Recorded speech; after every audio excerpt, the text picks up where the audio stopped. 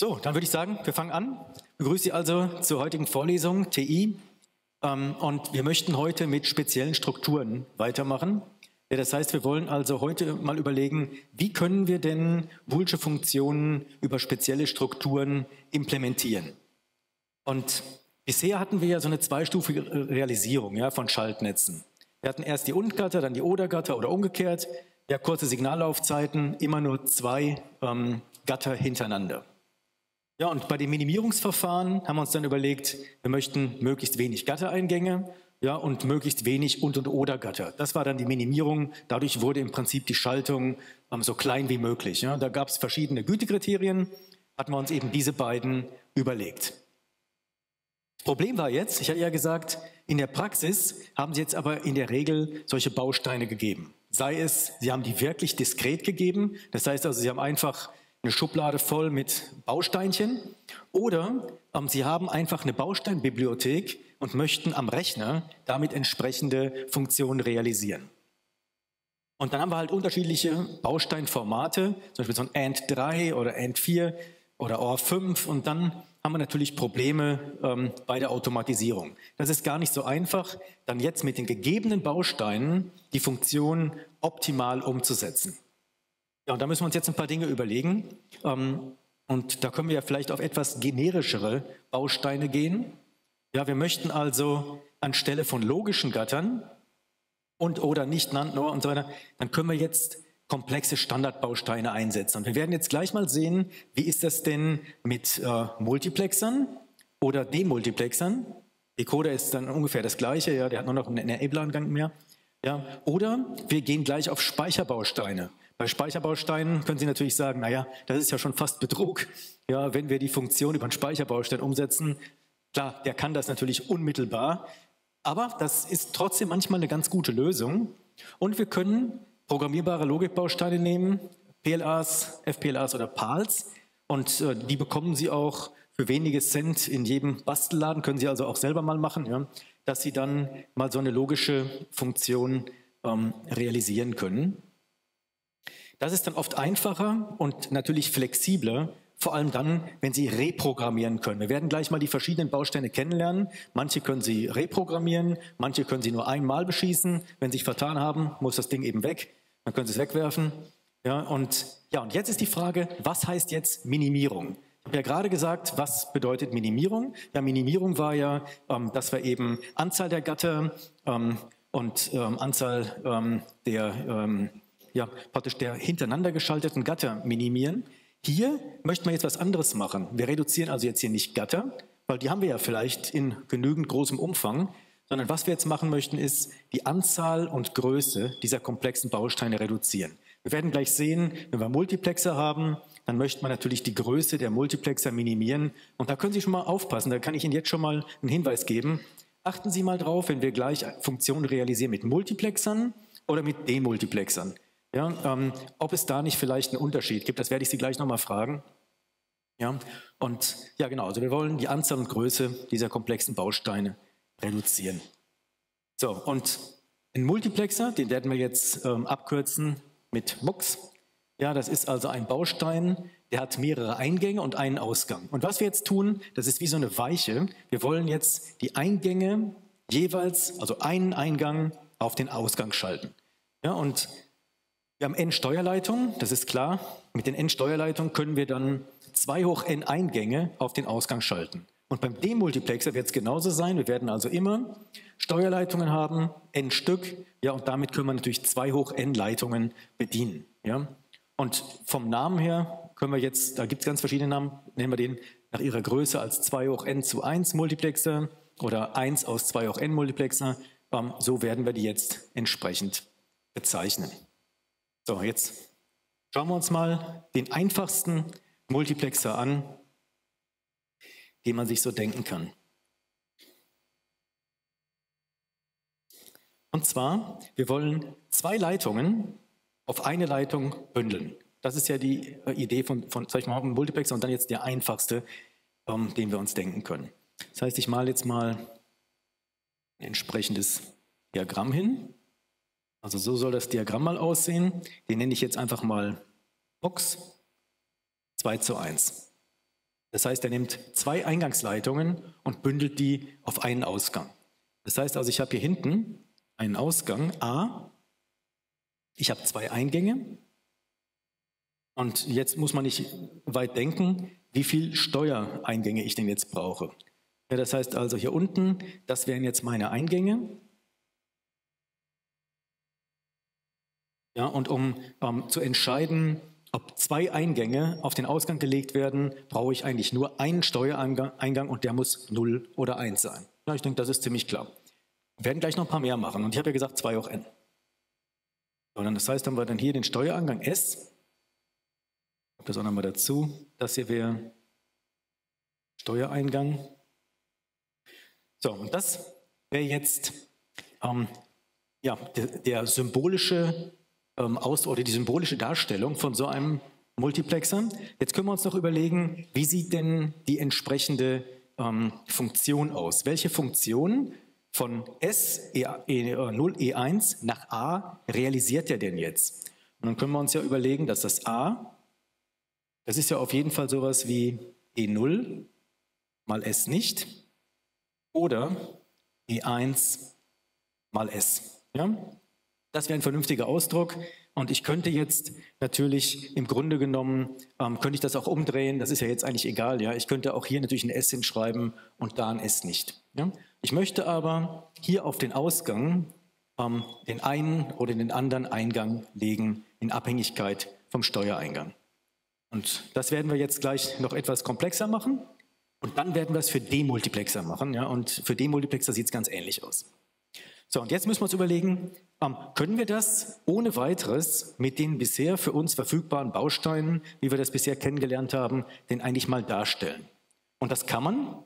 Und ja, denken Sie mal mit, ähm, Sie können mir ja Hinweise geben. Ich mal mal hin, was man wohl braucht. Also ich meine, wenn man sich diese Gleichung jetzt anschaut, was brauchen wir wohl? Wir brauchen hier zwei Und-Gatter, wir brauchen ein Oder und wir brauchen irgendwie eine Negation. Ja? Das heißt, das ist es dann auch schon. Die Frage ist jetzt halt, wie sieht das Ganze wohl aus?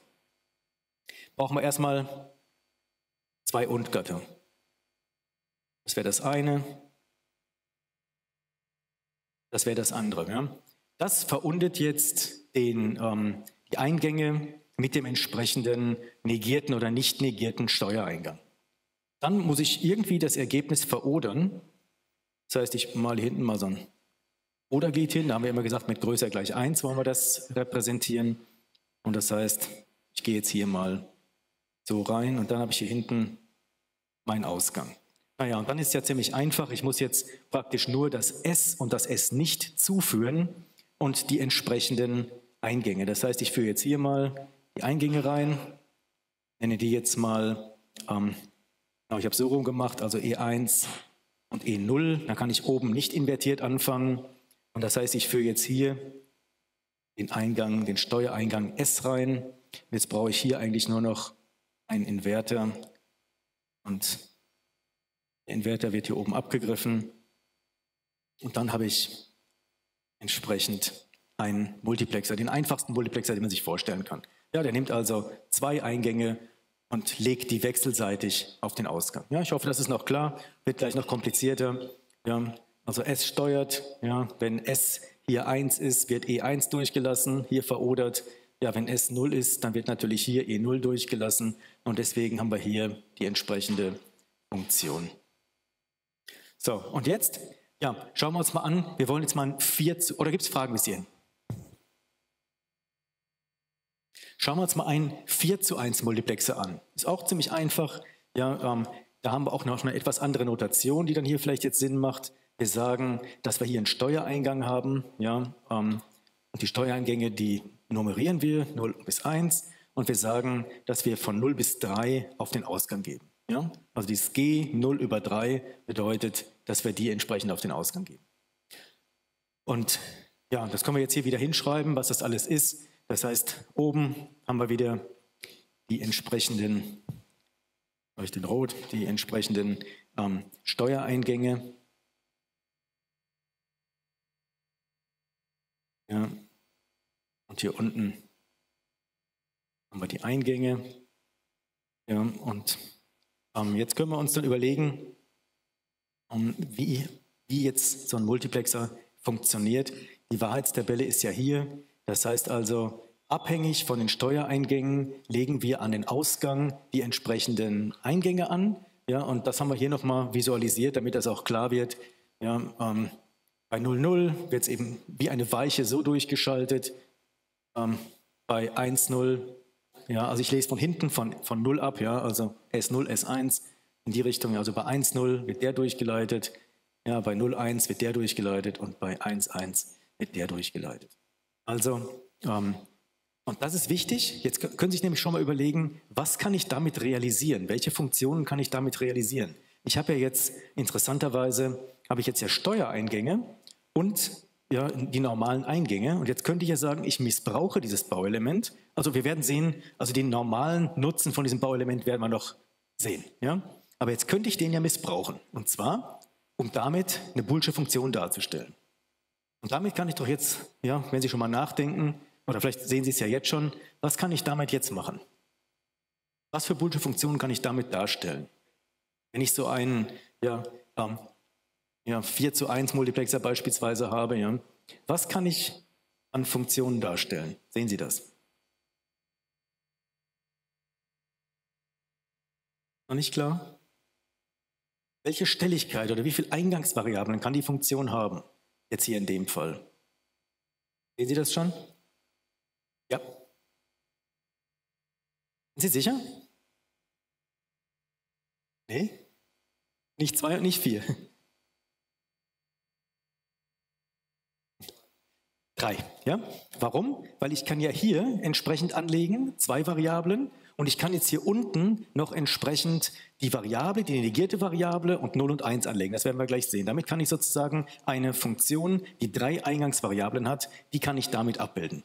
Ja, und äh, das ist schon mal nicht schlecht für so einen Multiplexer. Ja, das heißt, so ein Multiplexer ist ein sehr einfaches Bauelement und wir werden sehen, wir werden natürlich Multiplexer haben, die auch ganz, ganz viele Eingänge haben. Damit kann ich also ähm, entsprechend ähm, ja, viele Funktionen oder, oder Funktionen mit sehr vielen Eingangsvariablen darstellen. So, das heißt, wir steuern mit den Steuereingängen die Signalpfade hier durch und das ist die Idee bei so einem Multiplexer. So, und jetzt wollte ich Ihnen noch mal einen Baustein hinmalen. Und zwar, ähm, wenn wir uns mal einen Multiplexer anschauen, ich male den mal hier neben, ja, dass man den gut sieht. Ja, das heißt also, ich habe jetzt hier einen Multiplexer wieder, der hat vier Eingänge. Also die Eingänge wären dann eben E0, E1, E2 und E3. Und die haben wir ja so immer bezeichnet, dass wir 0, 1, 2, 3 hinschreiben. Dann hat er zwei Steuereingänge. Also genau der, den wir gerade auf der Folie hatten. Und die nenne ich wieder 0 bis 1 und dann wird das Ding genannt G0, 3 und hat natürlich auch einen Ausgang. So. Und jetzt ist ja davon offenbar die entsprechende Funktion, die boolsche Funktion, a hängt ja jetzt ab von den ähm, Eingängen.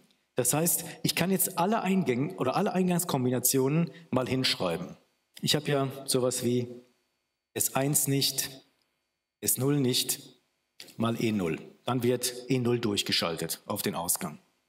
Dann verodere ich das mit S1 nicht S0, dann wird E1 durchgeschaltet. Oder ich habe S1 S0 nicht. Mit S2 durchgeschaltet. Naja, und dann habe ich noch den letzten Fall. S1, S0, dann wird eben E3 durchgeschaltet. Das wäre jetzt, man nennt es auch charakteristische Funktion von so einem Multiplexer. Das ist das, was der sozusagen durchgibt. Also eine sehr einfache Funktionalität. Und wenn das so einfach ist, dann können wir ja doch auch jetzt versuchen, mal wieder ein Schaltbild dafür hinzumalen. Ich hatte es Ihnen ja gerade für diesen ganz simplen Multiplexer hingemalt. Ähm, das können wir aber jetzt auch für diesen etwas komplexeren machen, der mit vier Eingängen arbeitet.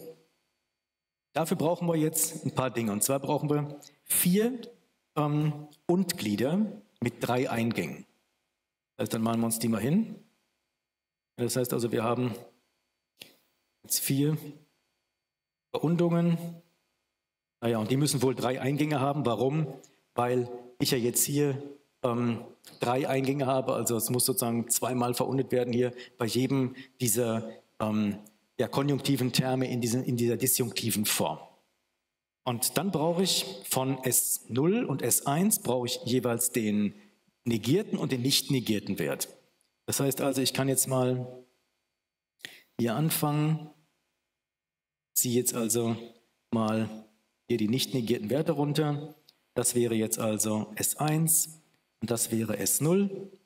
Und dann brauche ich noch die entsprechenden negierten Werte, also habe hier noch so einen Werte, ziehe die jetzt hier runter. Ja, und ich glaube, dann wird es auch sofort klar, was man jetzt tun muss. Ja, ziehe also sozusagen so Schienen hier runter. Ich mache immer Kringel drauf, wenn es hier eine Verbindung gibt, das werden wir gleich noch brauchen, dass wir bei Überlappungen ja, oder bei Überschneidungen nicht glauben, ähm, dass das auch ein Kontakt ist. So, und jetzt kann ich ähm, die E0,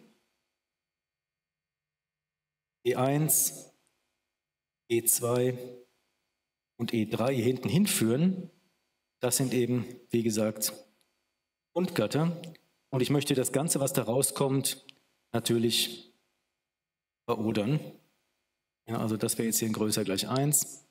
Das heißt, ich führe die jetzt alle hier hin. Ja, und das wäre mein Ausgang A. Hier vorne führe ich jetzt dann einfach rein E0, E1, E2 und E3. So, und jetzt ist natürlich ziemlich klar, ähm, ich muss jetzt einfach nach dieser Funktion, ja, muss ich jetzt abgreifen. Also wenn ich E0 äh, durchlassen möchte, dann müssen sozusagen die negierten Größen wahr sein. Das heißt also, ich greife jetzt hier ab den und den. Ja? Da müssen die Größen wahr sein. Dann muss ich im Prinzip beim, ähm, bei E1 muss S0 wahr sein und S1 quer. Korrigieren Sie mich, wenn ich mich jetzt irgendwie hier verzeichne. Ja, bei E2 muss S0 quer wahr sein, also der und S1 der. Und bei E3 müssen die beiden nicht negierten Größen angelegt werden und das und. Das wären die beiden. Ja? Das heißt, damit haben wir jetzt ein Blockschaltbild für ähm, so einen Multiplexer. Ist das klar oder gibt es da Fragen? Das wäre jetzt die einfachste Darstellung, ja? einfach ad hoc hingezeichnet, ja? Ähm, wie man so einen Multiplexer realisieren kann. Ist klar soweit? Jetzt ist natürlich die Frage, jetzt könnte ich ja so einen Multiplexer nehmen, den ich gerade hatte, so einen 2 zu 1 und mit dem 2 zu 1 möchte ich jetzt größere zusammenbauen. Sowas, das wäre ja zum Beispiel auch eine schicke Klausuraufgabe. Ja? Man fragt sich also, ich kenne so einen Multiplexer einer bestimmten Größe und möchte einen größeren daraus zusammenbauen. Geht das oder geht das nicht? Haben Sie eine Idee, wie man das machen könnte? Ich habe zum Beispiel einen, der 2 zu 1 ist und ich möchte einen 4 zu 1, ja, solchen, so einen hier, ja, ein G03, wie wir hier angemalt hatten, ja, den möchte ich damit erzeugen. Ist das klar, wie das geht? Und wie viel brauche ich denn? Wie viel 2 zu 1 Multiplexer brauche ich denn, um einen 4 zu 1, ja?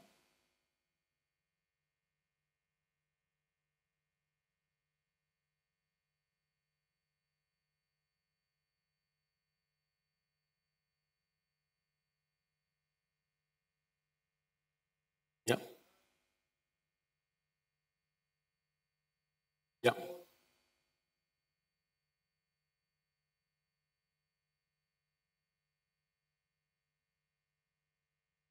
Ja.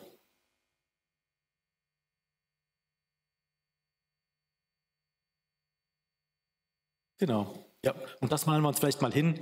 Ja, ich mache dann mal eine neue Folie dafür. Und zwar wäre jetzt eben die Frage, wie es die Kommilitone gerade erklärt hat, ja, so machen wir das auch. Wir wollen jetzt zum Beispiel mal aufbauen, ähm, 4 zu 1, ich mache das mal in Kurzform, 4 zu 1 aus 2 zu 1. Und dazu braucht man eben drei Stück. Ja, und das heißt, die können wir uns jetzt mal hier hinmalen. Also haben wir mal den ersten, hier den zweiten, hier den dritten. Und das sind jetzt jeweils, also wie gesagt, abgekürzt, ich schreibe da jetzt nicht mehr rein, also das sind jeweils 2 zu 1. Das heißt, das sind Multiplexer, die zwei Eingänge auf einen Ausgang legen. Ja? ja, und dann legen wir jetzt doch mal Eingänge an. Und jetzt war ja gerade schon der Vorschlag, dass man sagt, man legt mal hier zwei Eingänge an und hier zwei Eingänge an. Und die nenne ich jetzt ähm, E0, E1, E2 und E3. Jetzt habe ich Steuereingänge. Ich kann ja ähm, diesen Multiplexer hier steuern und diese beiden Multiplexer hier steuern. Und ich schlage jetzt eben vor, so wie es auch Ihr Kommilitone gerade gesagt hat, ja, wir steuern die beiden hier vorne mit einem Eingang und wählen dann praktisch immer einen der beiden Eingänge aus. Das heißt also, wir möchten ja jetzt zum Beispiel E0 und E2 auswählen, leiten die nach hinten durch und bei dem wählen wir dann einen der beiden aus. Aber das ist ja willkürlich, also Sie können das auch andersrum machen. Ja? Aber das wäre jetzt mal ähm, eine willkürliche Lösung. Ich lege also E0 und E2 hier hinten an. Ja, oder wenn ich umschalte, lege ich E1 und E3 hier hinten an und der hier hinten muss sozusagen nur einen von den ähm, beiden auswählen. Das heißt, ist also ziemlich klar, ich muss die hier auch noch entsprechend anlegen. So, und dann brauche ich Steuereingänge. Hier hinten ist klar, da lege ich einen Steuereingang an, das wäre das S1. Hier kommt der Ausgang raus, den nennen wir wieder A. So, und hier vorne lege ich dann den gleichen Steuereingang an. Könnte man jetzt auch willkürlich machen. Ich könnte auch einen Inverter dazwischen äh, schalten, dann gibt es eben eine andere Übertragungsfunktion. Ich mache es jetzt halt so, dass ich sage, ich lege den gleichen Eingang S0 hier an.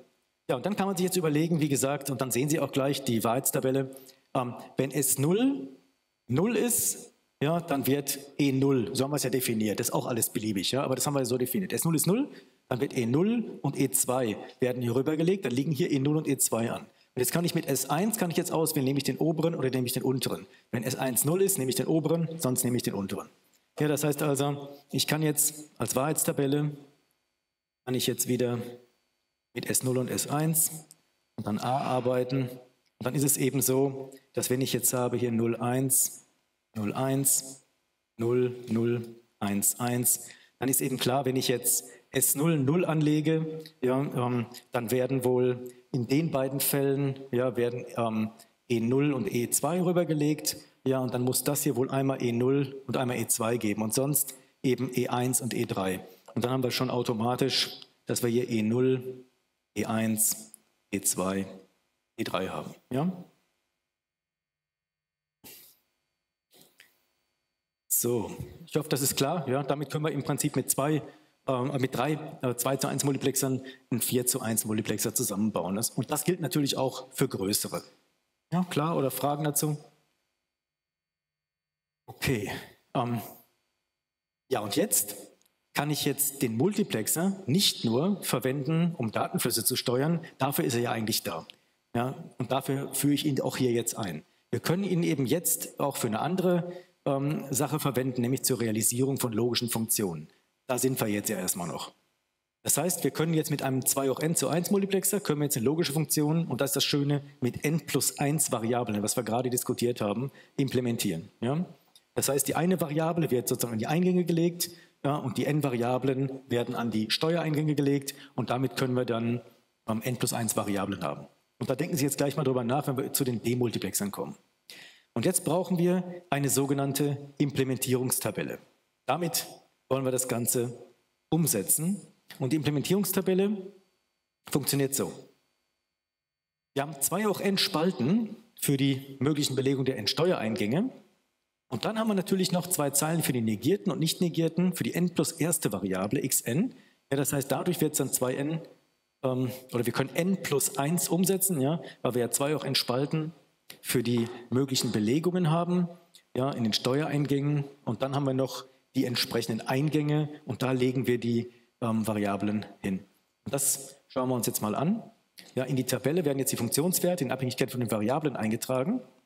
Und dann betrachtet man jede Spalte und in der Spalte haben wir jetzt eine Funktion, wo ähm, wir aus der Menge von 0,1, xn und xn nicht ja, dann überlegen, wie wir die Eingänge belegen. Und dann schalten wir für diese Variable die entsprechenden Eingänge auf den Ausgang mit den Steuereingängen. Und das schauen wir uns jetzt gleich mal an. Und zwar machen wir das mal für dieses Beispiel.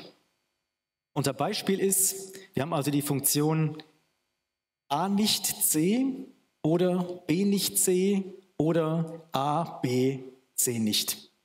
Ja? Und ähm, das wird, wir werden drei Varianten sehen. Das wäre jetzt die erste Variante, wie wir das Ganze realisieren können. Und dazu brauchen wir zunächst mal ähm, so eine Wahrheitstabelle. Das heißt, wir fangen wieder an, wieder in umgedrehter Reihenfolge. C, B, A und F. So, und dann gehen wir wieder durch, wie üblich. Ja, also wir haben hier 0, 1, 0, 1, 0, 1, 0, 1. Hier 0, 0, 1, 1, 0, 0, 1, 1. Und dann hier eben 4 Nuller. Ja, und dann hier 4 Einser. So. Und jetzt müssen wir die natürlich nur scharf anschauen.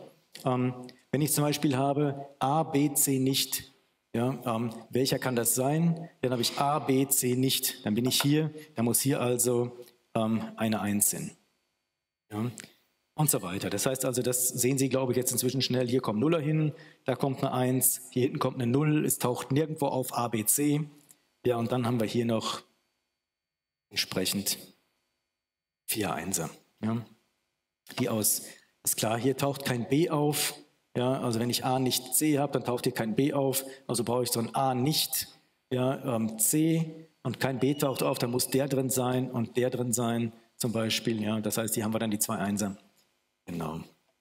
So, und jetzt können wir das Ganze mal sortieren. Wir schauen mal, wo taucht denn was auf. Also wenn wir jetzt sagen, wir wollen eine Implementierungstabelle haben ähm, und wir wählen jetzt mal, und das werden wir gleich nochmal anders machen, wir wählen jetzt B und C als Steuereingänge. Ja? Und A soll im Prinzip angelegt werden an den Eingang. Ja, dann machen wir das doch mal so. Schreibe ich Ihnen das mal hin. Ähm, wir haben doch hier jetzt so vier Päckchen. Ja? Da können wir uns doch jetzt überlegen, ähm, hier hätten wir doch C nicht, B nicht. Das wäre das erste Päckchen. Ja, soll ja unabhängig von A sein. A soll ja unser Eingang sein. Dann hätten wir hier ähm, C nicht, B. C, B nicht und C, B. Ja, das wären also jetzt unsere entsprechenden Paketchen. Und jetzt können wir uns mal überlegen, wenn wir uns jetzt so eine Implementierungstabelle überlegen, dann soll doch wohl für zum Beispiel ähm, C nicht, B nicht, ja, wollen wir jetzt mit A entsprechend die Ausgänge ähm, oder den, den Steuereingang beschalten. Und das hängt natürlich davon ab, was wir hier hinten stehen haben in F. Und das schauen wir uns jetzt mal an. Also, wenn wir jetzt haben, hier ist in grün dargestellt CB. Ja, was wollen wir da haben? Jetzt haben wir hier ähm, die Möglichkeiten 00, 10, 01 und 11.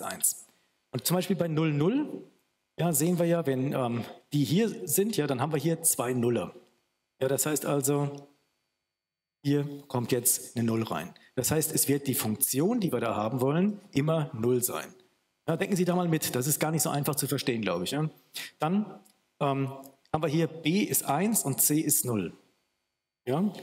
Das heißt, das wäre der Fall. Jetzt haben wir hier 0, 1. Hier eine 0, eine 1. Na gut, dann können wir da a eintragen. Ja, weil das ist genau a. Wir können also an den Eingang, an den, Steuer, äh, an den Eingang, wenn die Steuereingänge so gewählt sind, können wir a anlegen. Ja, das ist ja das Schöne, weil a ist hier einmal 0 und einmal 1, also können wir direkt die Variable a anlegen. Jetzt gucken wir hier den Fall an. Ja, 0, 1. Sind die beiden 1? Na gut, da kann ich nichts anderes machen, da muss ich eine 1 anlegen, weil es ja immer 1 ist, unabhängig vom Steuereingang. Ja, und dann bei 1, 1 ja, haben wir 1, 0. Na gut, und das ist a nicht. Ja, ist das soweit klar? Das heißt, ich kann im Grunde genommen jetzt diese Tabelle so zusammenfassen, dass das, was ich hier in der Mitte stehen habe, ja, für die entsprechenden Steuereingänge, kann ich jetzt hier unten die entsprechende Funktion g hinschreiben. Ja, ist eben einmal die reine Null-Funktion, dann die reine 1-Funktion oder eben hier a oder a nicht. Ja? So, und dann kann ich jetzt hier hingehen und mir mal überlegen, wie realisiere ich das denn? Ich habe also hier diese Implementierungstabelle, die wir uns gerade angeschaut haben. B und C waren jetzt die Steuereingänge. A muss jetzt hier unten angelegt werden. Ja? Das heißt, wir haben einmal eine 0, ein A, weil das B und C, Sie haben es ja gerade gesehen, ja, das, diese Variante wählt halt diesen Eingang aus und legt diesen Eingang auf den Ausgang. Diese Variante legt den Eingang auf den Ausgang, also jetzt das A, ja, und so weiter. Und jetzt legen wir das so weiter durch, ja, und damit bekommen wir genau die Funktion realisiert, die wir haben wollten. Ja, ist das soweit klar? Und damit kann ich mit einem Multiplexer dieser Größe eine Funktion mit drei Eingangsvariablen realisieren. Wir werden sehen, beim dem Multiplexer sieht es ein bisschen anders aus. So, und dann können wir jetzt die Funktion ablesen. Und das wäre ja auch mal ganz schick, dass die Funktion auch wirklich stimmt. Machen wir das doch mal. Das heißt, ähm, ich müsste doch jetzt hinschreiben, die Funktion f, die am Ende rauskommt, die muss doch irgendwie folgendermaßen gestreckt sein. Die muss doch jetzt alle vier Terme, also alle Variationen enthalten. Das heißt, die muss doch enthalten C nicht, B nicht, ich mache mal einen Platz, dann oder C nicht, B oder ähm, C, B nicht oder C, B. Ja, und wenn ich das dann jetzt hinschreibe, dann haben wir ja gesagt, dass wir entsprechend ähm, auswählen. Ja, mit den Termen wählen wir jetzt den entsprechenden Eingang aus. Ja, und dann kann ich die Eingänge doch einfach, genau wie es hier beschrieben ist, ja, C nicht B nicht wäre dann 0. Ja, ähm, C nicht B wäre A. Das heißt, die schreibe ich jetzt einfach hin. Das heißt, ich habe jetzt hier 0, ja, dann habe ich hier ein A, dann habe ich hier eine 1 und hier hinten habe ich ein A nicht. Ja, damit kann ich das doch jetzt direkt auslesen und es stimmt auch, es kommt genau die Funktion raus. Das ist nämlich jetzt tatsächlich, weil der ähm, erste Term fällt ja weg, ist also C nicht B A oder C B nicht oder C B äh, A nicht. Habe ich das richtig gemacht? Ähm, genau, und jetzt kann ich noch zusammenfassen. Ich hoffe, das stimmt jetzt so. Moment, jetzt müssen wir nochmal nachschauen. C nicht BA, CB nicht CBA. Jetzt habe ich mich nur bei einem irgendwie vertan und das sehen Sie wahrscheinlich schneller als ich. Jetzt muss man hier noch zusammenfassen, aber es sollte die gleiche Funktion sein. Sie sehen es vielleicht schneller als ich. Jetzt bin ich gerade verwirrt. Ich muss, glaube ich, etwas Abstand nehmen. Ja, aber das sollte die gleiche Funktion sein. Also wir sehen, hier setzen wir ja ein, C nicht, B nicht mal 0, der fällt weg. C nicht B mal A, der taucht natürlich auf. Ist das richtig? Ja, das ist der Term. Und dann ähm, CB nicht, das ist der. Und jetzt habe ich hier nur einen zu viel. CBA nicht. Ja, da muss ich nochmal drüber nachdenken. Denken Sie mal drüber nach, vielleicht sehen Sie das schneller. Ja. Auf jeden Fall soll das die gleiche Funktion geben. Okay. Ähm, und jetzt wollen wir eine weitere Realisierung durchführen. Und zwar, ähm, wir wollen jetzt ähm, andere Steuereingänge nehmen. Ich könnte ja jetzt, ich habe ja drei Variablen, habe ich ja gerade gesagt, ja? A, B und C. Und jetzt könnte ich ja auch sagen, ich nehme A und B als Steuereingänge und nehme C als Eingang. Und Sie sehen hier schon mal das Ergebnis, das soll am Ende rauskommen. Und jetzt ist die Frage, wie komme ich denn dahin? Wieso kann ich jetzt auch mit A und B steuern und mit C den entsprechenden Eingang machen? Und wir werden gleich noch ein drittes Beispiel kennenlernen. Das machen wir mal schnell. Und zwar ähm, wollen wir jetzt diese Funktion ja, hier oben, die wollen wir jetzt umschreiben und da gibt es ja immer diesen einfachen Trick. Ja, wir schreiben jetzt mal hin, dass das f, das könnte ich jetzt ja auch umschreiben, indem ich in jeder Komponente oder in jedem Term den fehlenden Term ergänze. Das heißt, das wäre jetzt a nicht c. Ja, und dann ergänze ich jetzt b oder b nicht. Denken Sie da auch mal mit, ja, dass ich das auch richtig mache. Dann oder jetzt fehlt uns ein A. Also das heißt, ich habe B nicht C und jetzt ergänze ich A oder A nicht. Und dann habe ich noch den letzten Term, der ist ja schon, der hat ja schon drei Variablen. Das wäre dann A, B, C nicht. So, jetzt würde ich das entsprechend ausrechnen und dann kommen wir direkt auf die entsprechende Implementierungstabelle. Da müssen wir gar nicht mehr groß rumdenken. Ja, ähm, sondern wir sehen die dann direkt. Wenn ich jetzt hier ausrechne, dann wäre das ja a nicht b, c.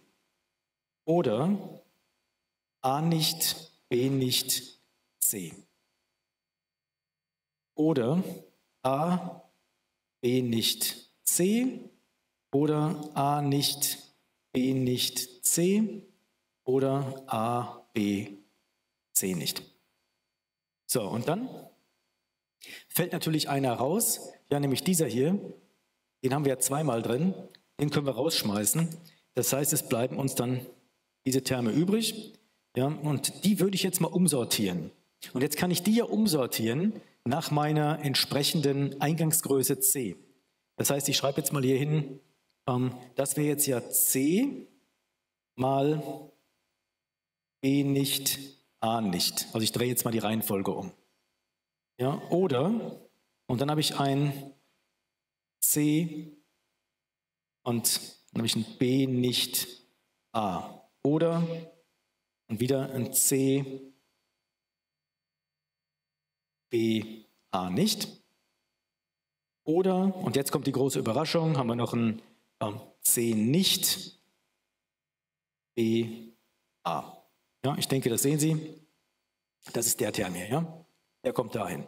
Das heißt, jetzt haben wir also hier die entsprechenden Cs nach vorne gezogen und können damit jetzt unmittelbar in diese Implementierungstabelle gehen. Und dann wird es ja super simpel. Wir sagen einfach, ähm, dass hier natürlich jeweils, wo ein C steht, das korrespondiert zu den entsprechenden ja, ähm, Verknüpfungen. Und dann habe ich hier eben C, C, C, C nicht. Und das heißt, ich kann jetzt die Eingänge, wenn ich jetzt hier mit den Steuereingängen auswähle, kann ich die ersten drei Eingänge, also 0, 1 und 2, auf C legen und den letzten auf C nicht. Und damit habe ich die entsprechende Funktion realisiert. Ist das klar soweit? Also das ist noch alles sehr ad hoc. Wir werden gleich noch eine etwas schnellere Methode oder eine etwas systematische Methode kennenlernen, aber damit kann man doch schon ganz gut was anfangen. Ja? Das heißt, wir haben jetzt die Möglichkeit, wir können entweder C und B als Steuereingänge nehmen und A als Eingang oder A, äh, A und B als Steuereingänge und C als Eingang. Ja, und damit bekommen wir die entsprechende Funktion. Gibt es Fragen soweit?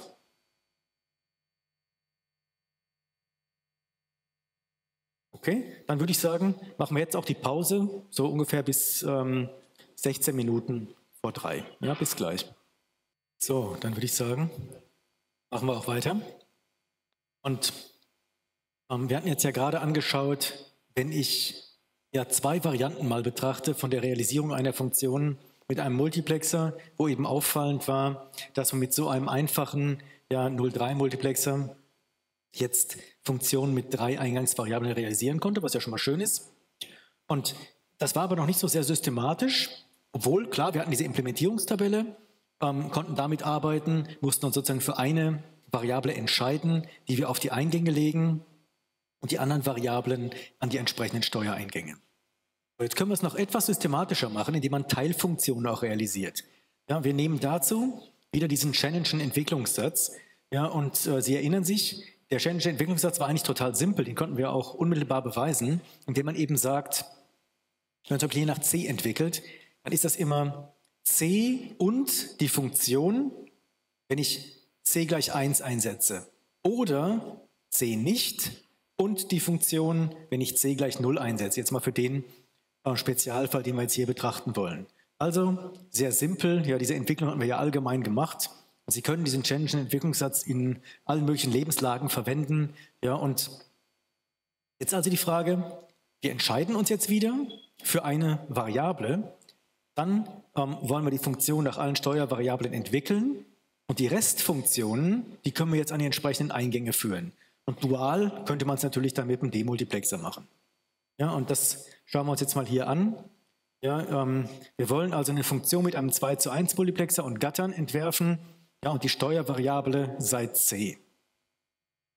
Und das ist wieder die gleiche Funktion. Und dann nehmen wir einfach ähm, einen Multiplexer, der folgendermaßen aussieht. Also das heißt, wir wollen ähm, hier unseren Steuereingang, den wollen wir mit c beaufschlagen. Ja, das wäre unsere Steuervariable dann wäre das sozusagen unser Eingang und der steuert dann 0, 1. Das heißt, wir haben nur zwei Eingänge, nämlich 0 und 1.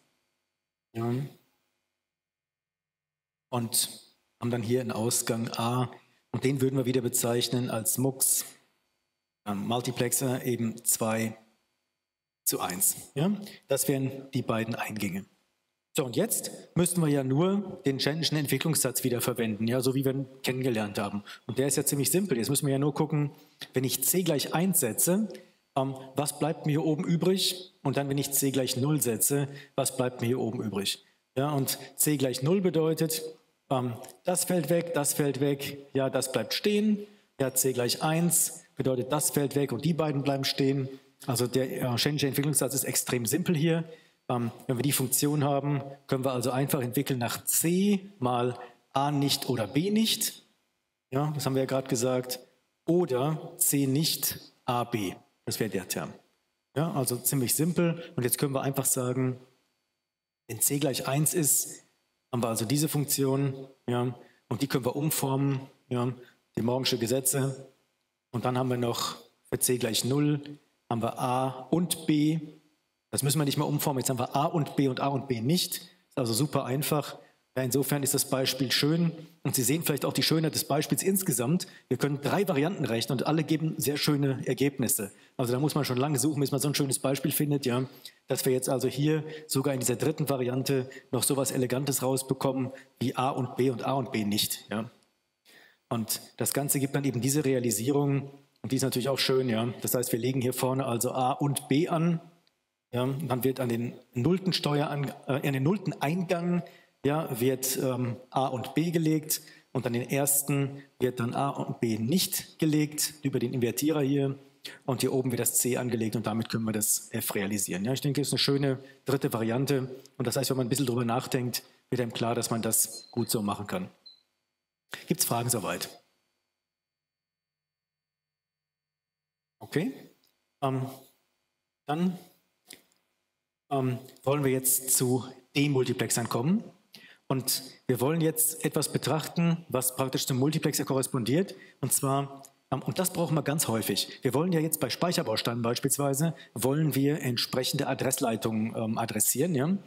Ähm, und dafür brauchen wir Demultiplexer. Und wir haben jetzt also diesen Baustein, der korrespondiert dazu, ist also dual. Der schaltet jetzt abhängig von n Steuerleitungen, schaltet der zwei auch n Ausgänge.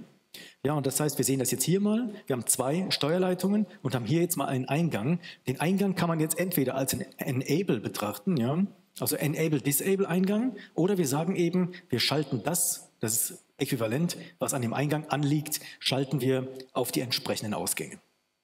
Und dann hätten wir ja so ein Verhalten, dass wir sagen, wir hätten hier sowas wie S0, S1, ja, ähm, die beiden Steuereingänge, und die sollen jetzt diesen Enable-Eingang, hier jeweils, man sieht, das ist so eine Diagonalmatrix, ja, sollen den, diese, diesen Enable auf die entsprechenden Ausgänge schalten. Und das ist wichtig, weil was bedeutet das? Ich kann jetzt praktisch mit einer Binärzahl, kann ich jetzt dekodiert ja, genau eine bestimmte Adressleitung anschalten. Und das werden wir bei Speicherbausteinen dringend brauchen. Also ein Demultiplexer ist ganz wichtig. Aber auch hier jetzt erstmal, zunächst kommt der Missbrauch eines Demultiplexers um eine boolsche Funktion darzustellen. Und dann schauen wir uns mal an, wie man damit Speicherbausteine ansteuert. Ja? Also merken Sie sich das mal. Wir ähm, bekommen bei den vier Ausgängen jeweils den Eingang entsprechend dargestellt in Abhängigkeit, wie wir hier die Steuereingänge wählen. So, und jetzt will ich mal hier hin und da will ich Ihnen jetzt mal ein paar einfache ähm, Demultiplexer darstellen, indem wir uns mal die Schaltbilder anschauen.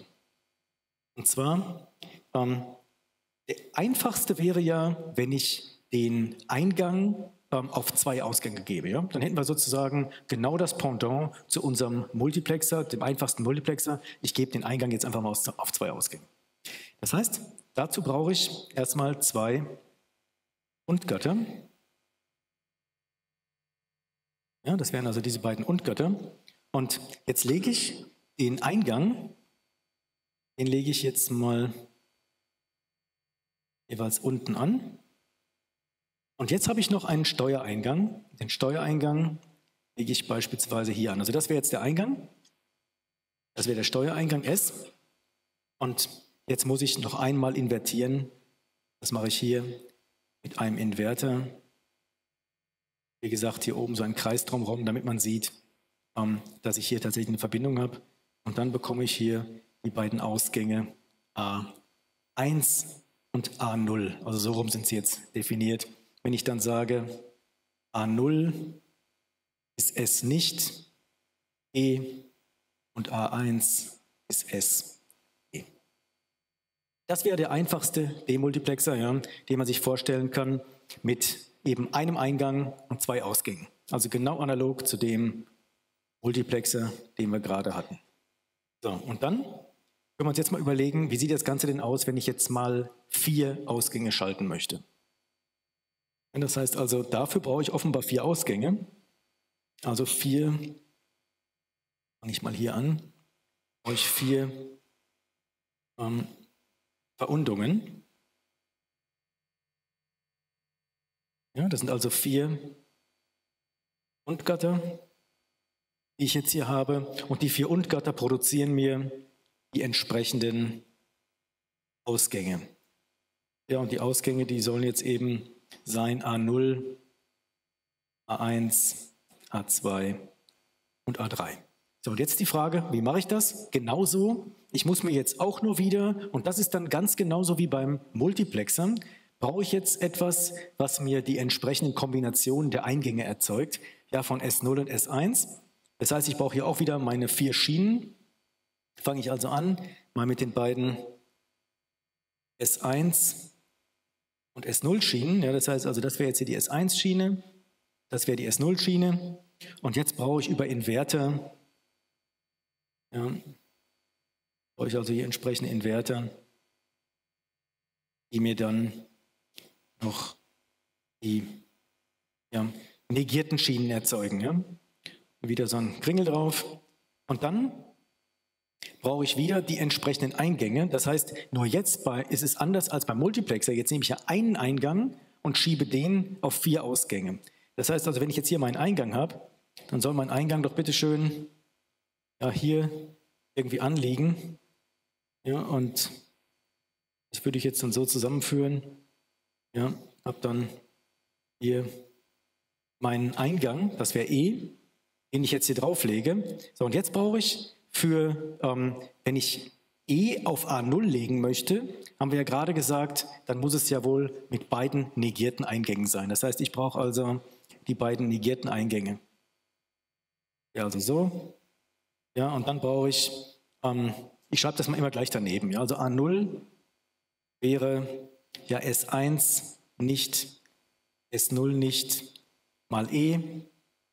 A1 wäre S1 nicht S0 E, A2 wäre S1, S0 nicht E und A3 wäre S1, S0 E und dann können wir sie ja alle ablesen. Ja? Also S1 nicht und S0, das heißt also, wir hätten den, den, ja, wo hier dran liegen. Für A2 hätten wir S1 und S0 nicht. Das wäre also der, der, wie gesagt, sie denken mit, ja, dass es auch richtig ist. Und ähm, dann hätten wir nochmal S1 und S0, also den, den. Ja, und jetzt ist das Interessante, wenn ich jetzt den Enable-Eingang einfach mal auf 1 setze, dann bekomme ich nichts anderes, als dass ich am Ausgang die Min-Terme darstelle. Und ähm, können wir uns ja nochmal anschauen, ja, also für e gleich 1. Und also was ganz Simples raus, dann haben wir einfach nur A0 ist dann also S1 nicht S0. Das heißt, ich dekodiere tatsächlich, ja, ist also wirklich ein Decoder. Ja, A1 ist dann S1 nicht S0, A2 ist S1, S0 nicht und A3 ist S1, S0. Ja, das heißt also, wir haben nichts anderes als wirklich einen Decoder und genau das wollen wir haben für den Zugriff auf Speicherbausteine. Ja? Das heißt also, ähm, wir können jetzt für diesen ganz simplen Fall oder auch für diesen etwas komplexeren Fall, ja, können wir jetzt einfach diese entsprechenden charakteristischen Gleichungen hinschreiben, wie wir ähm, entsprechend den Eingang und auch wenn wir den auf 1 legen, auf den Ausgang legen und damit dekodieren wir. Ja? Und das ist bei Speicherbausteinen das A und O, das werden wir gleich sehen. Ja, also das heißt, wir können jetzt hier nochmal zusammenfassen, hier steht es nochmal alles. Hat einen Enable-Eingang E, den kann man jetzt als Enable sehen oder eben als einen Eingang, den ich auf die Ausgänge lege. Und dann wird jetzt eine Dualziffer, wird jetzt dekodiert bereitgestellt. Das heißt, die Dualziffer wird sozusagen an diesen Ausgängen gefächert. Ja? Und das ist das Besondere, wenn der Enable-Eingang 0 ist, sind natürlich alle Ausgänge 0, sonst dekodieren wir jetzt hier in dem Beispiel eine 2-Bit-Zahl. Ja? Und deswegen entweder Demultiplexer oder Decoder. Ja? Ich hoffe, es ist soweit klar. Wollen wir vielleicht mal eine logische Funktion jetzt realisieren mit einem Decoder? Und da kommt ja gleich meine Frage, was anders ist als mit einem Multiplexer. Ein Decoder erzeugt ja offenbar, das haben wir ja gerade gesehen, erzeugt 2 hoch n Min-Terme, wenn ich diese n-Steuervariablen betrachte am Eingang. Ja? Und das heißt, wir möchten jetzt mal etwas machen, wie die Anzahl der Einsen berechnen von so einer Funktion. Wir wollen also wissen, a plus b plus c. Wir wollen also wissen, wie viel Einser hat diese Funktion. Und dann ist hier schon das Ergebnis. Ich möchte es Ihnen aber mal herleiten, wie man denn überhaupt drauf kommt. Wie komme ich denn drauf, ähm, dass das die Anzahl der Einser ist? Das heißt, ich brauche hier wieder so etwas wie die Nummer ja, ähm, in meiner Funktionstabelle. Ich brauche dann C, B und A. Dann brauche ich die Funktion und dann brauche ich einen Übertrag und ich brauche eine Summe. Und dann fangen wir mal an, damit ich eine Länge der Tabelle hinbekomme. Also 0, 1, 0, 1, 0, 1, 0, 1.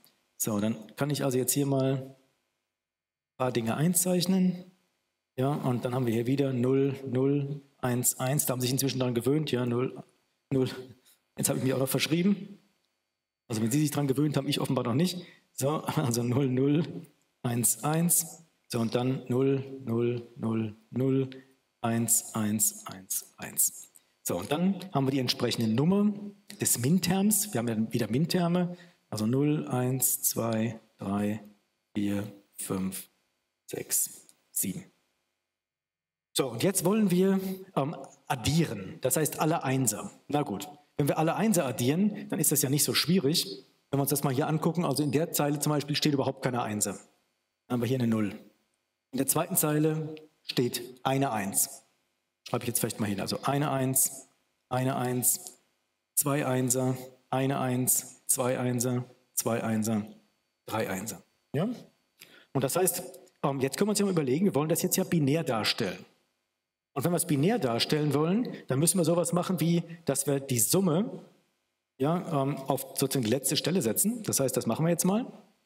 Wir haben hier also sowas wie 0, 1, 1. Ja, und jetzt bei einer 2 haben wir natürlich eine 0 plus einen Übertrag. Das heißt, hier kommt also eine 0 hin und hier kommt jetzt mal noch eine 1 hin, zwei Nuller und eine 1. Also eine 3 ist ja wohl 1, 1. Ja? Das heißt, ähm, dann müssen wir jetzt noch eintragen, was der Übertrag ist, also 0, 0, 0. Ja? Dann hier haben wir einmal einen Übertrag, muss eine 1 hin und dann 0. Und dann bei 2 und bei 3 haben wir hier natürlich jeweils 1er stehen. Ja? Und das ist das, was wir hier machen wollen. Und jetzt sehen Sie Folgendes. Also deswegen ist es ganz wichtig, dass Sie mal gucken, ob Sie das nachvollziehen können. Wenn ich das anschaue, das wäre der Summenterm, das S was wir hier haben. Und bei dem S kommt interessanterweise raus, wenn Sie eine Äquivalenz hinschreiben, A äquivalent B äquivalent C, dann sehen Sie hier zum Beispiel, ja, ähm, A äquivalent B ist nicht äquivalent, ist 0. Hier ist aber äquivalent zu 0, also eine 1. Ja, hier 0 und 0 ist äquivalent, ist 1 ist äquivalent mit 1, also eine 1. Das ist also ganz witzig. Das kommt also ganz gut hin. Ja? Werden wir übrigens nochmal sehen, ja? wenn wir zu Addieren und so weiter kommen, werden wir zu ähnlichen ähm, Zusammenhängen kommen. Ja? Ähm, und das heißt, können wir also hier als eine Äquivalenzrelation so eine verkettete hinschreiben? Na gut, und dann sehen wir natürlich, dass das die entsprechenden MINT-Terme hier sind. Ja, also das sind eben 1, 2, 4 und 7. Ja, das sind die MINT-Terme. Bei dem nächsten ist genauso einfach, ist hier eben 3, 5, 6 und 7. Das heißt, wir grasen praktisch alle ab, bis auf den ersten, also den Nullten, der wird nicht abgegrast. So, und jetzt ist aber noch die Frage, Wie komme ich denn da drauf? Ja, und da malen wir uns mal ein KV-Diagramm hin. Wieso ist das denn ähm, genau so? Und da können wir jetzt mal ein KV-Diagramm hinmalen, indem wir sagen, Sie erinnern sich, KV-Diagramm, ja, so können wir dann zweimal, so, und dann haben wir hier die Einträge 0, 1, 2, 3, 4, 4, 5, 6, 7. Und dann tragen wir eben ein, wir haben ja gerade gesagt, für den Übertrag wären es eben 3, 5, 6 und 7. Also wäre das wohl hier 3, 5, 6 und 7. Ja, das wären hier wohl die beiden Einträge. Und jetzt müssen wir uns nur noch dran schreiben, was ist denn eigentlich was. Also wir haben hier das B, ja, wir haben hier oben das A und wir haben hier unten das C. Und jetzt fassen wir einfach zusammen. Und es gibt jetzt hier drei Primimplikanten. Ja, ich denke, die sind nicht schwer zu sehen. Das sind diese drei. Ja. Na gut, und damit kommt unmittelbar das Ergebnis raus. Ja, also A und B. Ja, oder A und C. Das sieht man ja hier. Also A und B ist dieser hier. Ja, A und C. Ähm, und dann noch B und C. Ja. Das sind eben die drei Primimplikanten. Ja? Das heißt, damit können wir das sofort sagen. Und ähm, jetzt können wir uns mal überlegen, wie implementieren wir das. Und zwar ähm, haben wir jetzt ja gerade den Übertrag, also tut mir leid, dass das jetzt U heißt und nicht Ü, es müsste eigentlich Ü heißen. Ja, ähm, ist halt der Übertrag jetzt. Ähm, und dann ähm, können wir jetzt mit einem Demultiplexer versuchen, beides zu realisieren. Wir wollen sozusagen beides in einem. Und Sie erinnern sich ja an diesen Term Bündelminimierung. Ja, das heißt also, wir wollten im Prinzip zwei Sachen gleichzeitig minimieren. Und das können wir jetzt hier auch machen, indem wir jetzt ähm, das Ganze so hinschreiben, dass S, die Summe, ja, ist im Prinzip dann eben, sind diese vier Min-Terme, die ich hier abgreife. Ja, also 1, 2, 4 und 7. 0 bleibt ungenutzt. Ja, und der Übertrag sind eben 3, 5, 6 und 7 ja, drei, fünf, sechs und sieben, die hier jetzt verordert werden und dann einen Übertrag ergeben. Ja? Das heißt, damit können wir schön sogar zwei Funktionen realisieren in einem, ja, und das ist dann wie eine Bündelminimierung. Okay, ähm, jetzt können wir es natürlich so machen, dass wir, ähm, also eigentlich geht das jetzt genau in die richtige Richtung. Das, was wir bisher gemacht haben, ähm, waren ja schon fast Speicherbausteine. Ja? Wir haben es ja schon, also wenn man sich das gerade angeschaut hat, ähm, haben wir am Ende eine Veroderung vorgenommen. Ja, das ist wie, als wenn ich jetzt einen Speicherbaustein nehme und die entsprechenden Werte verodere. Wir können es jetzt noch etwas flexibler machen und ähm, bisher waren wir ja fest verdrahtet und wir könnten das Ganze jetzt ja, personalisieren ähm, oder eben programmieren. Programmieren ist vielleicht ein bisschen weit gegriffen, ja, aber man kann im Prinzip jetzt solche Bausteine ähm, ja, anpassen und personalisieren, ja, und oder mikroprogrammieren, ja, so kann man sich auch vorstellen, so eine mikroprogrammierte Logik. Und ja, jetzt sieht man sich das mal hier an und dann sehen wir jetzt, haben wir so einen Demultiplexer und der Demultiplexer, der bekommt jetzt seine n-Eingangsvariablen und das ist jetzt die Funktion, die ich habe. Ich lege also eine Funktion an, eine boolsche Funktion mit n Eingangsvariablen und die adressiert jetzt im Grunde genommen über diese Ausgänge. Ich habe ja gesagt, diese n Eingänge werden jetzt auf 2 hoch n Ausgänge sozusagen aufgespreizt. Und es kann hier nur eine 1 aus anlegen. Ja? Das heißt also, hier liegt jetzt eine, binäre, eine Binärzahl eine Dualzahl an. Und hier hinten liegt jetzt nur noch eine 1 an und der Rest ist 0. Und damit adressiere ich jetzt genau eine Leitung hier. Und diese eine Leitung, das sind jetzt halt entsprechende Min-Terme. Davon gibt es zwei auch n. Und ja, wenn ich jetzt den Min-Term hier drin haben kann, wir haben das auch animiert, ja, dann möchte ich jetzt sozusagen diesen Min-Term zum Beispiel hier drin haben oder diesen Min-Term oder diesen, ja, und das heißt, ich kann im Prinzip wieder so eine Bündeloptimierung machen, eine Bündelminimierung. Das heißt also, bei m-Ausgangsvariablen lege ich mir jetzt entsprechend hier Knotenpunkte fest, ja, die mir jetzt den entsprechenden Min-Term hier verodern. Und damit kann ich dann für die entsprechenden Eingangsvariablen abgreifen, was an Min-Termen da ist. Also das heißt, wenn ich jetzt eine Funktion habe mit ähm, n Eingangstermen, 2 hoch n Min-Termen, dann kann ich jetzt sagen, wo die Einser sind und die Einser lege ich einfach direkt in den Speicher. Dann können Sie sagen, okay, warum haben wir es eigentlich bisher so kompliziert gemacht, wenn es doch so einfach geht? Klar, es ist so, es geht jetzt wirklich ziemlich einfach. Wir legen sozusagen einfach die Einser hier rein, ja, die Einser für die entsprechenden Min-Terme und damit bekommen wir für jede von den m-Ausgangsvariablen, kriegen wir den entsprechenden Wert, den wir haben wollen. Das heißt also, lege ich Eingangsbelegung so und so an, kriege ich den Min-Term, nächste Eingangsbelegung kriege ich den Min-Term und so weiter. Das heißt, ich grase einfach alle Min-Terme ab. Ist das klar? Und dafür habe ich jetzt verschiedene Konzepte. Ja, ähm, da gibt es jetzt verschiedene Techniken, wie man so etwas tatsächlich macht. Ja, also hier ist nochmal erklärt, ja, also wir adressieren die Speicherzellen ja, und ähm, wir haben dann eben die Min-Terme von den N-Eingangsvariablen und eine 1 speichern bedeutet, dass der Min-Term reinkommt und sonst nicht. Ja, und im Allgemeinen ist es so, dass wir natürlich im Rechner ähm, so ein Speichernetzwerk haben. Ja, das brauche ich Ihnen, glaube ich, nicht mehr erklären. Wir haben also einen Prozessor, Speicher und dann die Ein-Ausgabegeräte und dann haben wir Busse, die das Ganze verbinden. Ähm, wir haben bei so einem Speicher im Allgemeinen ähm, eine Matrixstruktur.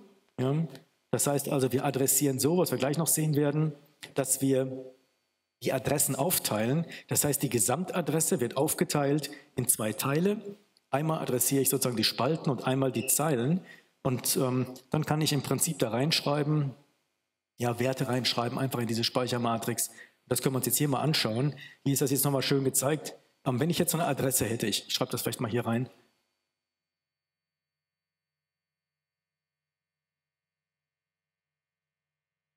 Wir haben jetzt also hier unten einfach unsere Adressen, ja.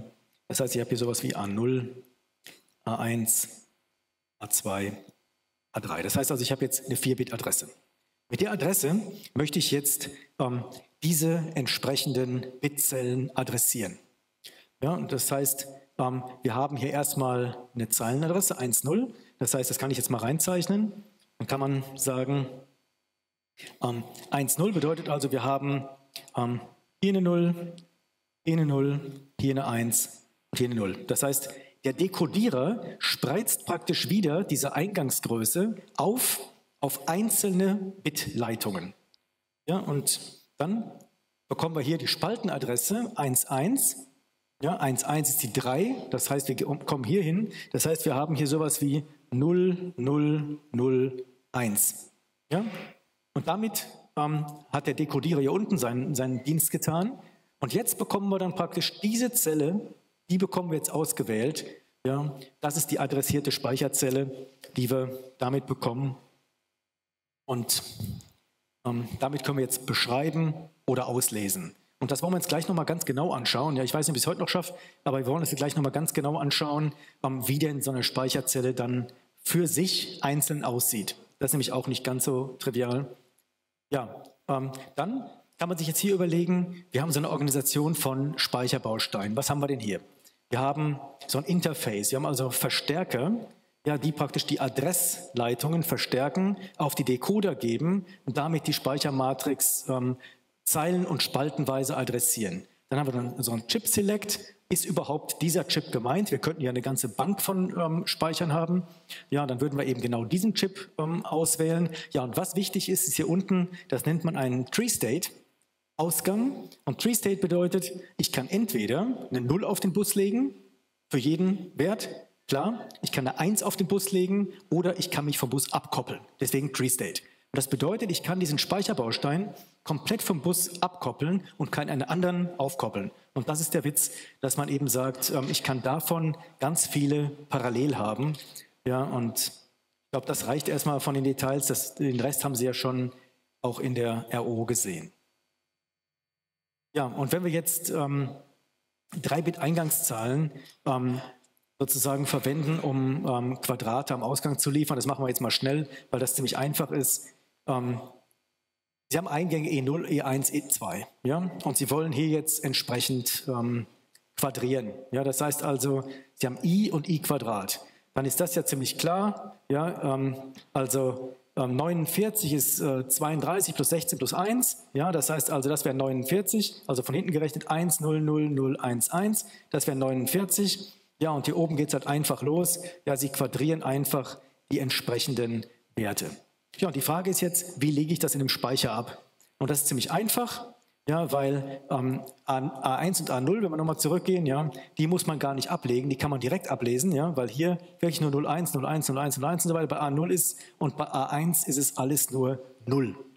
Ja, das heißt also, ähm, na, so, ähm, wir können jetzt diese hier direkt durchreichen, ja, die 0 und das E0 auf A0 und dann brauchen wir im Prinzip den Speicher nur noch so zu belegen, ja, ähm, wie wir eben hier diese Tabelle haben. Belegen also einfach genau nach der Funktionstabelle den Speicher. Ja, ich denke, das ist trivial und damit haben wir eine sehr, sehr einfache Darstellung von so einer Funktion. Das heißt, wir können damit also ähm, in so einem Prom oder irgendwas können wir direkt quadrieren. Ist das klar soweit? Ja, Okay, also dann haben wir verschiedene Speichertypen. Und zwar können wir jetzt bei den Halbleiterspeichern unterscheiden zwischen Festwertspeichern und Festwert kann aber auch reversibel sein. Das heißt also, ähm, hört sich dann zwar vielleicht ein bisschen komisch an, Festwertspeicher, wenn ich ihn auch nochmal ändern kann, aber ich kann ihn nur sehr mühsam ändern. Kommen wir gleich dazu. Oder er ist irreversibel, dann passt es mehr zu dem Begriff Festwertspeicher. Ja? Ich kann also nichts mehr ändern, ROM oder PROM. Dann kann ich ähm, Random Access Memories haben, also Schreiblesespeicher. Die können statisch und dynamisch sein oder quasi statisch. Das betrachten wir heute nicht. Und dann gibt es noch Non-Volatile RAM, nicht flüchtiges RAM. Ja, ähm, das werden wir auch nicht so im Detail besprechen. Ja, wir werden nicht alles besprechen können. So, was ist ein ROM? Read-Only Memory. Während des Normalbetriebs nur lesbar, ist aber nicht flüchtig. Das heißt, wenn ich das Ding abschalte, geht es nicht verloren. Ja, die Information kann nicht rückgängig gemacht werden. Ja, das heißt also, äh, es ist entweder maskenprogrammierbar, ja, ein ROM, oder programmierbar. Das heißt, Sie können es einmal selber programmieren. Das heißt, Sie bekommen ein Programmiergerät und den Baustein, programmieren es einmal ein, danach ist aber weg. Das heißt, Sie haben dazwischen so kleine Sicherungen. Ja, und ähm, ja, dann brennen Ihnen sozusagen im wahrsten Sinne des Wortes die Sicherungen durch. Ja, und dann sind die einmal gesetzt und Sie können die nicht mehr ähm, verändern. Das sind ROMs. Dann haben wir noch reversible Festwertspeicher. Ja? Die sind ähm, ganz bekannt. Ja? Es gibt entweder EPROMs, das heißt, die sind UV-löschbar. Das heißt, sie können, da ist ein kleines Fensterchen drauf, das klebt man normal mit dem Kleber zu. Und wenn man den Kleber abnimmt, ja, wie so ein Post-it, nimmt man ab, leuchtet mit UV-Licht für ein paar Minuten drauf, dann ist der Speicher gelöscht, dann macht man den Aufkleber wieder drauf und programmiert es wieder. Das können Sie ein paar Mal machen, vielleicht 100 Mal machen, ja, und ähm, das nennt man EPROM. Und dann gibt es aber auch noch welche, die sind elektronisch löschbar, ja, und das ist aber langsam, deswegen ist also der, der Begriff Festwertspeicher gar nicht so schlecht. Ist also kein RAM, Sie können nicht beliebig rein und, reinschreiben und rauslesen, sondern Sie können das einmal machen, das dauert halt ein paar Minuten und kann man auch vielleicht noch zehnmal machen oder sowas. Ja, und bei Flash-ROMs genau das gleiche, elektrisch programmiert und ähm, fast kein Unterschied. Ja, und jetzt kommen wir zu RAMs. Und zwar Random Access Memory. Das bedeutet, das ist ein Speicher, auf den Sie ständig zugreifen. Und zwar ist das der Speicher, der Ihnen am nächsten liegt am, an einem Computer. Und da erinnern Sie sich vielleicht aus der anderen Vorlesung. Ja, wir werden ein SRAM haben, das ist das, was wirklich ganz, ganz nah am Prozessor liegt. Da können Sie im, sozusagen im Prozessortakt praktisch reinschreiben. Dann gibt es ein, ein Dynamic RAM oder DRAM. Das dauert ein bisschen länger. Da brauchen Sie vielleicht vier Zyklen oder sechs Zyklen. Also ich will jetzt nichts Genaues sagen, aber so ungefähr, ja, dass Sie einfach ein paar Zyklen brauchen, um da reinzuschreiben. Dafür ist das billig und groß und das hier oben ist teuer und klein.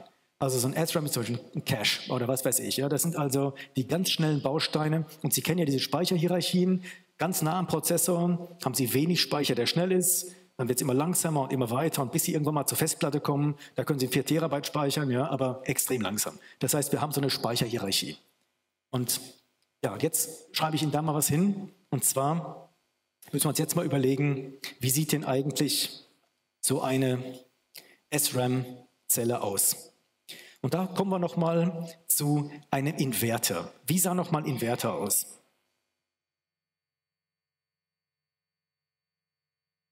Ja, ein Inverter sah doch folgendermaßen aus. Wir haben im Prinzip ein PMOS und ein NMOS. Also ich bin bei CMOS-Invertern, also Complementary MOS. Ja, das heißt also, ähm, wir haben zwei Transistoren, ja, die beiden, und die sind jetzt verkoppelt über den Eingang. E. Und wir haben bei dem einen ein PMOS, Pfeil nach draußen, bei dem anderen ein NMOS, Pfeil rein. Und die Ausgänge sind jetzt hier auch verkoppelt. Und das ist der Ausgang A. Ja, und dann haben wir hier noch ähm, Ground. Und hier oben haben wir dann UB, das heißt die Versorgungsspannung. Ja?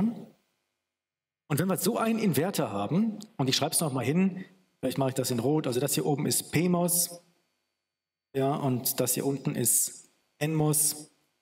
Und das entspricht jetzt einem Inverter.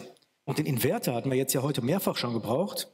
Ein Inverter sieht ja so im Blockschaltbild aus, ja, dass wir sagen, wir legen hier die Eingangsspannung E an und bekommen hier hinten die Ausgangsspannung oder den, den Ausgangswert A raus. Und dadurch, dass wir ja nur digital arbeiten, wir haben ja gesagt, das ist alles analog, ist ja offenbar eine analoge Schaltung, ja, aber wir verwenden im Prinzip nur ähm, Werte unterhalb und oberhalb von gewissen Thresholds. Das heißt also, wir können hier sagen, A ist gleich E quer.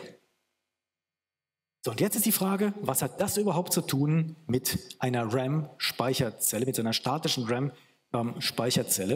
Und dann können wir sagen, wir wollen ja kreuzweise, ja, kreuzweise rückgekoppelte, rückgekoppelte Inverter haben. Ja, und wenn ich die jetzt kreuzweise rückkoppel, dann kann man sich jetzt zwei Möglichkeiten vorstellen. Ich male die mal nebeneinander. Ich habe also hier meine beiden Inverter. Habt ihr hier also nochmal. Ja, also zwei so Inverter.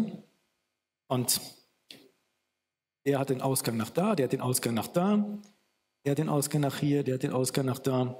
So, und jetzt koppel ich den Ausgang des einen,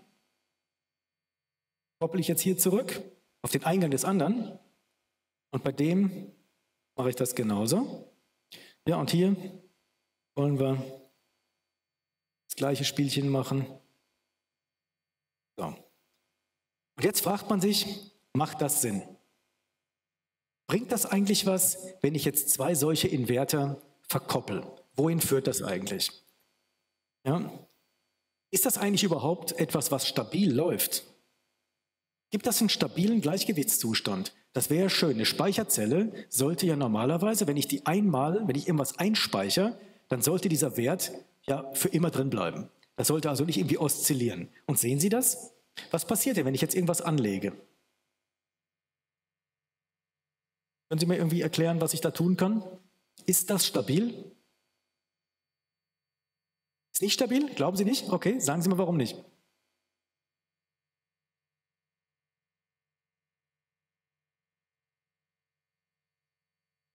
Ja. Okay, spielen wir das mal durch. Hier kommt eine 0 rein. Und dann eine 1 raus. Und dann eine 1 dran, kommt hier eine 0 raus. Kommt hier wieder eine 0 hin. Stabil, oder? Ja. Es ist doch stabil. Und genauso, wenn wir das jetzt hier einzeichnen, dann mache ich das mal andersherum. Ja, wenn ich jetzt sozusagen ähm, andersrum einspeichere. Wir werden sehen, wir werden solche Bitleitungen haben, die speichern Informationen ein. Und wir brauchen praktisch eine positive und eine negative Bitleitung. Die speichern praktisch jeweils die Informationen so ein auf den beiden Seiten dieser Inverter. Und das ist dann eine SRAM-Zelle. Dazu brauchen wir nochmal zwei Transistoren. Das heißt also, wir werden gleich sehen, wir brauchen zwei hier, zwei da und dann brauche ich nochmal jeweils einen, um es einzuspeichern. Da brauche ich also sechs Stück. Ja, das ist das Blöde dabei. Deswegen ist SRAM so extrem teuer. Und deswegen haben Sie in Ihrem Rechner zu Hause auch nur ganz, ganz wenig SRAM. Und bei Signalprozessoren, also welche, die in so eingebetteten Systemen laufen, haben Sie enorm viel SRAM. Deswegen ist es auch beliebig teuer. Und das kann man sich normal nicht leisten. Also fangen wir mal an. Ähm, wir schreiben mal hier eine 1 hin. Ja, ähm, dann kommt hier eine 1 an, dann kommt hier hinten eine 0 raus und hier eine 0 hin. Also das ist stabil. Ja. Dann haben wir hier eine 0 ja, und hier eine 0 dann haben wir offenbar hier eine 1 und hier eine 1. Also das ist auch stabil. Das heißt also, wir können sagen, dass ähm, so eine SRAM-Zelle stabil ist. Ja? Also wenn wir das jetzt mal angucken, schauen wir uns mal an, wie die denn in Wirklichkeit dann aussieht. So sieht sie aus. Ja, das heißt also, hier sehen Sie die beiden gegeneinander geschalteten Inverter. Das ist sozusagen ein Inverter hier, das ist ein Inverter, das ist der Ausgang des einen, der, ähm, also das ist der Ausgang, der wird hier in den Eingang angelegt und das ist der Ausgang, der hier in den Eingang angelegt wird. Ja, ich hoffe, Sie sehen das. Und dann brauche ich nochmal zwei Stück, die sozusagen hier diese beiden ähm, ähm, Spannungen oder Potenziale anlegen, T4 und T5, über die Bitleitung. Das heißt, über die ähm, Adressleitung werden die sozusagen durchgeschaltet, sonst liegt die Zelle für sich tot ja, und wird nicht von außen angesprochen. Und wenn ich über diese Adressleitung diese Zelle freischalte, dann kann ich über diese ähm, Bitleitungen, die genau komplementär arbeiten, kann ich dann entsprechend die Information hier einspeisen. Ja? Und das ist die Idee dabei. Und ja, und das hält sich hier, wie wir gerade gesagt haben, hält sich hier stabil und hält sich vor allem beliebig lang stabil. Ja, ist anders als die DRAM-Zelle, die wir gleich noch kennenlernen werden. Ja. Ähm, da ist es so, dass die Information flüchtig ist. Hier ist sie stabil. Ja. Fragen erstmal soweit. Ja.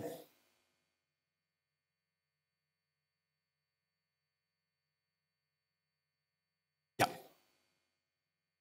Der Witz ist, ich brauche hier ähm, 0 und 1 oder 1 und 0. Wie wir gerade gesehen haben, muss ich ja die beiden Inverter entsprechend pullen. Ja? Dass ich ähm, sozusagen diese beiden ähm, Zustände einspeise. Nur ein Zustand, aber ich muss das induzieren über eine entsprechende Spannung, die ich anlege. Deswegen zwei Bitleitungen. Und das ganz normal. Ja, und ich habe eine Adressleitung. Mit der einen Adressleitung ähm, wird das Ganze adressiert, diese eine Bitstelle, wie wir es gerade schon gesehen haben. Ja, ähm, und das ist eine Matrix. Das heißt, ich habe eine Matrix von solchen SRAM-Zellen. Ähm, ja, und dann habe ich hier einfach nur B0 und B0 quer. So kann man es sehen. Ist einfach die gleiche. Es wird wirklich nur eine Information angelegt, B0 und B0 quer. B1 ist B0 quer. Ja, okay, weitere Fragen? Ja.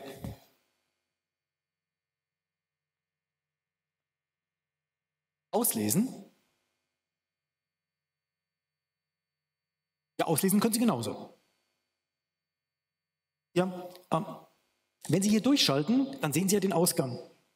Ja, dann sehen Sie direkt den Wert.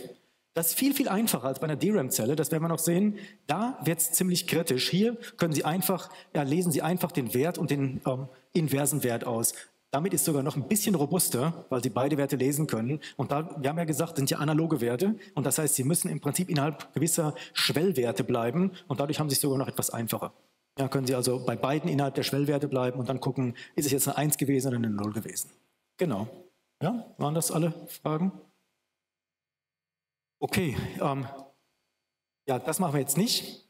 Ähm, das haben wir nicht gemacht in der Vorlesung, das lassen wir weg. Und dann würde ich auch sagen, dass die letzte Folie, die ich heute zeige, ähm, so eine statische CMOS-Speicherzelle, also ein SRAM, besteht jetzt eben aus zwei rückgekoppelten Invertern, die kreuzweise rückgekoppelt sind, wie gerade gezeigt.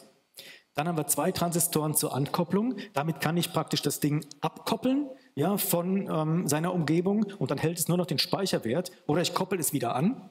Dazu brauche ich diese T4 und T5. Das heißt, ich brauche sechs ähm, Transistoren und das hat natürlich den Vorteil generell einer CMOS-Zelle, ja, nur zum Umschaltzeitpunkt fließt Strom. Das Ganze bleibt also selbsterhaltend, solange ich nichts mache.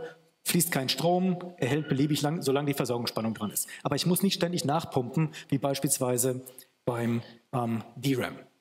Ja, das wären die Dinge, die ich Ihnen heute zeigen wollte. Ähm, Gibt es Fragen noch hierzu? Wir machen am Mittwoch noch eine Vorlesung und am nächsten Montag noch. Das heißt also, vor Weihnachten sind noch zwei weitere Vorlesungen. Ja. Wir sehen uns also dann am Mittwoch im Hasaf. Ja. Also vielen Dank. Tschüss.